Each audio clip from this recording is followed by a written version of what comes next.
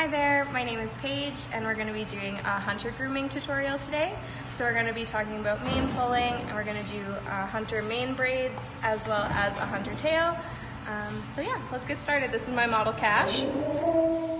Okay, so as we can see, this mane is pretty long. Um, it's not very thick, so we'll mostly be pulling um, to get the length down. So what you want to do is start with the longest hairs on the mane, back comb a few times, wrap the part in your finger around the comb and pull out. Um, some horses are really sensitive about it. Cash is more preoccupied with her cribbing, so she doesn't really notice. But it's best to start with small chunks to see how they're tolerating it. Um, and I also recommend doing this a few days or weeks before the show so that you aren't pulling all their hair out and then putting really tight braids in all in one go. Um, so yeah, I'll keep pulling and then we will come back once I'm done. Okay, so I've pulled the top part up here because it's the thickest part. Down here, her mane is pretty thin. So what I'm going to do is just cut it, but I don't want it to be blunt um, like a jumper mane, so I'll just cut up into it like this.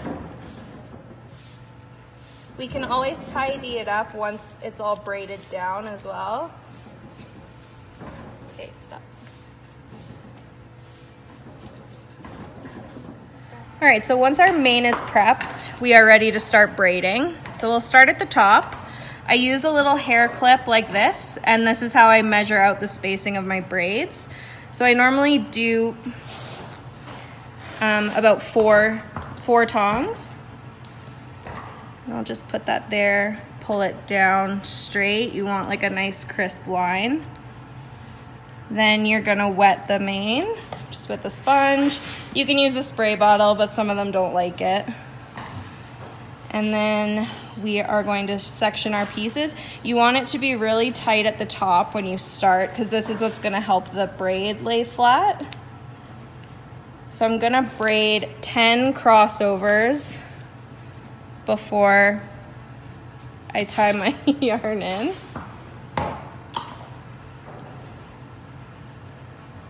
I chose a darker color just so it would be easier to see, but normally I would pick something that matches her mane. So with the yarn, you just tuck it underneath and then you braid it in.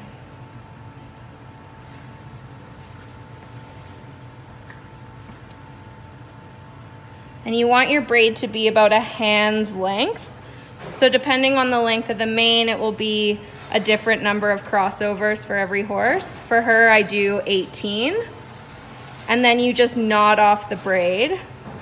So you just kind of make a loop and tie it and that will secure the braid.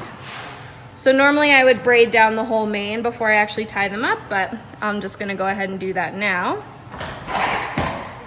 So with this little tail, you can, you can cut it off. If you are going to cut it off, I recommend cutting up into it like this. So you're not getting a blunt edge because it makes it pretty hard to um, tie the braid up straight. I'm gonna leave it. I'll show you how to tuck it in so you don't have to cut anything.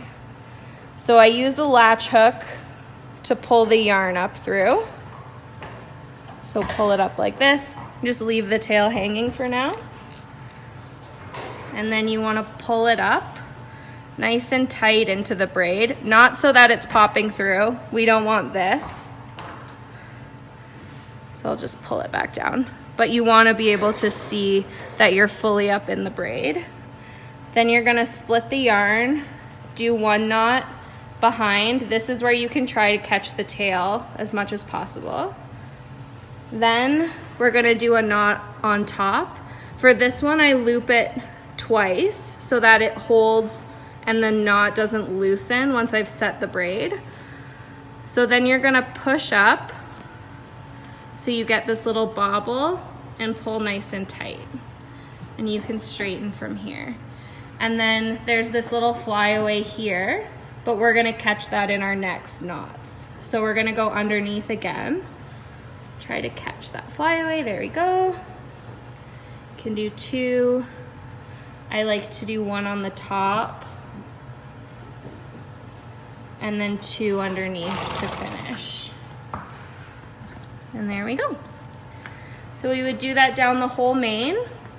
Some of the most important parts about hunter braiding is that you want the bottom of your braids to be even along the crest of their mane.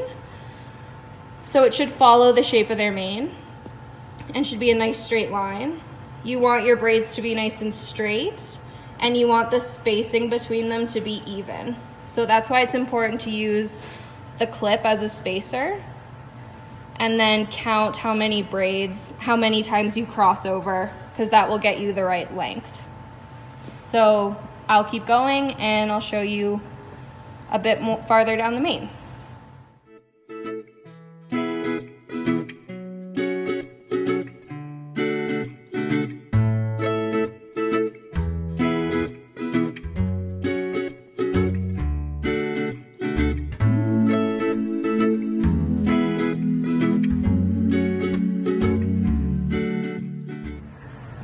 So once you're done the whole mane, I'm only doing five, but once you're done the whole mane, you can trim off the yarn pieces.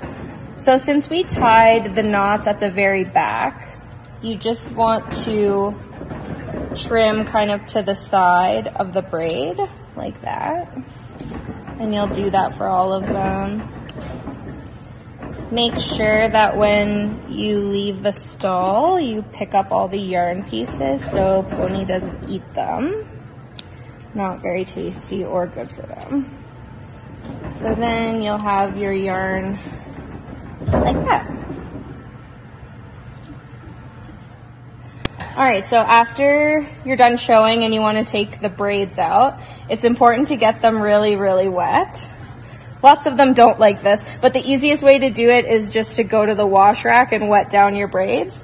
And then you're gonna use a seam ripper being very careful not to cut any of the hair. You want to kind of turn the braid on its side.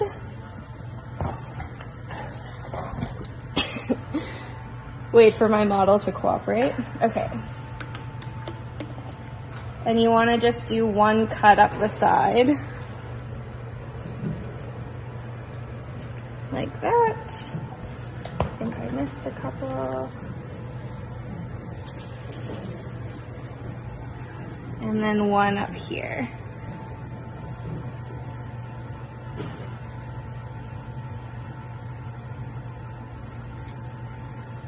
And then you should just be able to unravel like that. And for this, it's best if you cut down towards you like that. And then you just unbraid. But yeah, the mane should be nice and wet so that you aren't breaking any of the hair off when you unbraid. And if you've been braided for a couple days, it's pretty hard on their mane. So you want it to be nice and wet when you take them out.